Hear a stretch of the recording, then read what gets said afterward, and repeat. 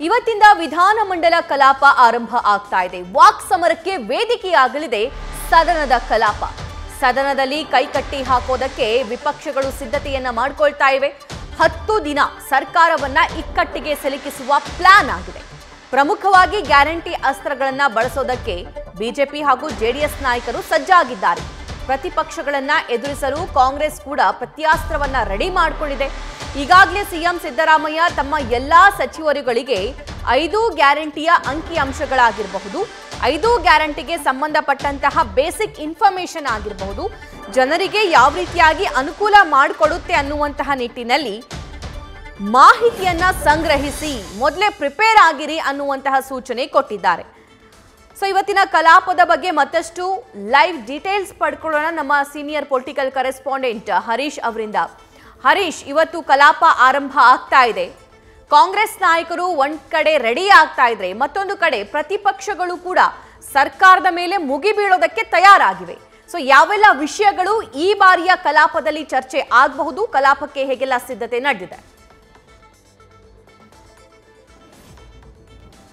ಸಭಾ ಬಹಳ ಮುಖ್ಯವಾಗಿರುವಂತದ್ದು ರಾಜ್ಯದಲ್ಲಿ ಕಾಂಗ್ರೆಸ್ ಸರ್ಕಾರ ಅಧಿಕಾರಕ್ಕೆ ಬಂದ ನಂತರ ಇಂದಿನಿಂದ ಕೂಡ ಹತ್ತು ದಿನಗಳ ಕಾಲ ಅಧಿವೇಶನ ಕೂಡ ಈಗ ನಡೆಯುವಂತದ್ದು ಇಂದು ಮಧ್ಯಾಹ್ನ ಹನ್ನೆರಡು ಗಂಟೆ ಸುಮಾರಿಗೆ ರಾಜ್ಯಪಾಲ ತಾವರ್ ಸಿಂಗ್ ರಾಜ್ ತಾವರ್ ಸಿಂಗ್ ಗೆಹ್ಲೋತ್ ಅವರಾಗಿರಬಹುದು ಅವರು ಮುಖ್ಯವಾಗಿ ಜಂಟಿ ಅಧಿವೇಶನವನ್ನು ಉದ್ದೇಶಿಸಿ ಮಾತನಾಡ್ತಾ ಇದ್ದಾರೆ.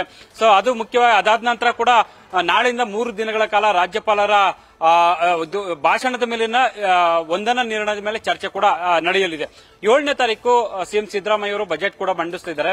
ಈಗಾಗಲೇ ಕೂಡ ಹದಿಮೂರು ಬಾರಿ ಬಜೆಟ್ ಅನ್ನು ಅವರು ಮಂಡಿಸಿರುವಂತಹ ಪಾತ್ರಕ್ಕೆ ಪಾತ್ರ ಆಗಿದೆ ಈಗ ಹದಿನಾಲ್ಕನೇ ಬಾರಿ ಬಜೆಟ್ ಅನ್ನು ಕೂಡ ಮಂಡಿಸ್ತಾರೆ. ಈ ಒಂದು ಅಧಿವೇಶನದಲ್ಲಿ ಸುಮಾರು ಏಳು ಮಸೂದೆಗಳು ಕೂಡ ಮಂಡನೆ ಆಗುವಂತಹ ಒಂದು ಸಾಧ್ಯತೆ ಇರುವಂತದ್ದು. ವಿವಾದಿತ ಕಾಯ್ದೆಗಳನ್ನು ವಾಪಸ್ ಪಡೆಯುವಂತ ನಿಟ್ಟಿನಲ್ಲಿ ಈಗಾಗಲೇ ಕಾಂಗ್ರೆಸ್, ಈ ಹಿಂದಿನ ನಾಯಕರು ಕೂಡ ಹೇಳಿದ್ರು. ಹಾಗಾಗಿ ಈ ಒಂದು ಅಧಿವೇಶನದಲ್ಲಿ ಗೋಹತ್ಯೆ ನಿಷೇಧ ಕಾಯ್ದೆ ಆಗಿರ್ಬೋದು ಎಪಿಎಂಸಿ ಆಗಿರ್ಬೋದು, ಸೊ ಮುಖ್ಯವಾಗಿ ಮತಾಂತರ ನಿಷೇಧ ಕಾಯ್ದೆ ಇವನ್ನ ವಾಪಸ್ ಪಡೆಯುವಂತ ನಿಟ್ಟಿನಲ್ಲಿ ಕೂಡ ಈಗಾಗಲೇ ಮಾತನಾಡಿದ್ದಾರೆ. ಹಾಗಾಗಿ ಆಡಳಿತಾರೂಢ ಕಾಂಗ್ರೆಸ್ ಸರ್ಕಾರವನ್ನು ಇಕ್ಕಟ್ಟಿಗೆ ಸಿಲುಕಿಸುವಂತ ನಿಟ್ಟಿನಲ್ಲಿ ಕೂಡ ವಿಪಕ್ಷ ಪ್ರತಿಪಕ್ಷ ಬಿಜೆಪಿ ಮತ್ತೆ ಜೆಡಿಎಸ್ ಎರಡೂ ಪಕ್ಷಗಳು ಸನ್ನದ್ಧವಾಗಿದ್ದಾವೆ. ಅದರಲ್ಲಿ ಪ್ರಮುಖವಾಗಿರುವಂತದ್ದು ಗ್ಯಾರಂಟಿ ಯೋಜನೆಗಳನ್ನ ಮುಂದಿಟ್ಕೊಂಡು ಸರ್ಕಾರವನ್ನ ಕಟ್ಟಿ ಹಾಕೋದಕ್ಕೆ ಈಗಾಗಲೇ ಮುಂದಾಗಿದ್ದಾವೆ.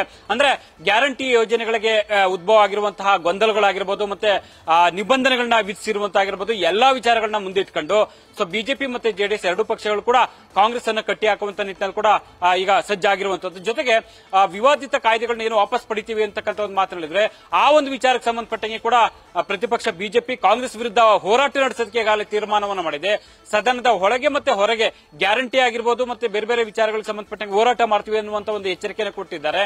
ಹಾಗಾಗಿ ಸದನದ ಒಳಗಡೆ ಸೊ ಈ ಒಂದು ನಿಟ್ಟಿನಲ್ಲಿ ಕೂಡ ಹೋರಾಟ ಮಾಡೋದಕ್ಕೆ ಬಿಜೆಪಿ ಕೂಡ ಮುಂದಾಗಿದೆ. ಅದ್ರ ಜೊತೆ ಜೊತೆಗೆ ಕೂಡ ಬೇರೆ ಬೇರೆ ವಿಚಾರಗಳನ್ನ ಇಟ್ಕೊಂಡು ಕೂಡ ಕಟ್ಟೆ ಹಾಕುವಂತ ನಿಟ್ಟಿನಲ್ಲಿ ಕೂಡ ಒಂದಷ್ಟು ತಯಾರಿಗಳನ್ನ ಕೂಡ ಬಿಜೆಪಿ ಮತ್ತೆ ಜೆಡಿಎಸ್ ಮಾಡಿದೆ. ಸೊ ಮತ್ತೆ ಪ್ರತಿಪಕ್ಷಗಳ ಅಸ್ತ್ರಕ್ಕೆ ಪ್ರತ್ಯಸ್ತವಾಗಿ ಕೂಡ ಆಡಳಿತಾರೂಢ ಕಾಂಗ್ರೆಸ್ ಸಿದ್ಧತೆಯನ್ನು ನಡೆಸಿದೆ. ಅಂದ್ರೆ ಪ್ರತಿಪಕ್ಷಗಳು ಯಾವ ವಿಚಾರಗಳನ್ನ ಇಟ್ಕೊಂಡು ಹೋರಾಟ ಮಾಡ್ತಾರೆ, ಅದಕ್ಕೆ ಪ್ರತಿಯಾಗಿ ಯಾವ ರೀತಿ ಉತ್ತರ ಕೊಡಬೇಕು, ಯಾವ ರೀತಿ ಎದುರಿಸಬೇಕು, ಎಲ್ಲದಕ್ಕೂ ಕೂಡ ಸಜ್ಜಾಗಿ ಇವತ್ತು ಅಖಾಡಕ್ಕೆ ಇಳಿಯೋದಕ್ಕೆ ಕೂಡ ಆಡಳಿತ ಕಾಂಗ್ರೆಸ್ ಸಿದ್ಧವಾಗಿರುವಂತದ್ದು. ಹಾಗಾಗಿ ಹತ್ತು ದಿನಗಳ ಕಾಲ ನಡೆಯುವಂತಹ ವಿಧಾನಸಭೆಯ ಕಲಾಪ ಆ, ಒಂದ್ ರೀತಿಯಲ್ಲಿ ಕೂಡ ಆಡಳಿತಾರೂಢ ಕಾಂಗ್ರೆಸ್ ಮತ್ತೆ ಪ್ರತಿಪಕ್ಷ ಬಿಜೆಪಿ ಜೆಡಿಎಸ್ಗೆ ಒಂದ್ ರೀತಿಯಲ್ಲಿ ಹಗ್ಗ ಜಗ್ಗಾಟಕ್ಕೆ ಮತ್ತೆ ವಾಕ್ಸಮರಕ್ಕೆ ವೇದಿ ಆಗುವ ವೇದಿಕೆ ಆಗುವ ಎಲ್ಲ ಲಕ್ಷಣಗಳು ಕಾಣಿಸ್ತಾ ಇರುವಂತದ್ದು ಸಭಾ. Thank you Harish News First ಪ್ರತಿಕ್ಷಣ